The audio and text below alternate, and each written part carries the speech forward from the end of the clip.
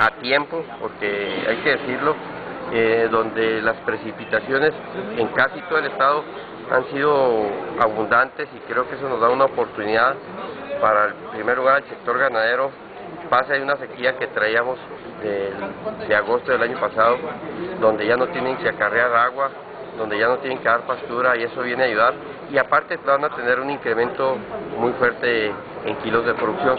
En el sector agrícola, en especial la zona de temporal, que no pudo sembrar maíz, que no pudo sembrar frijol por falta de agua, creo que ahorita andan muy motivados los productores del campo de zonas de temporal, sembrando avena, parte frijol y sembrando forraje.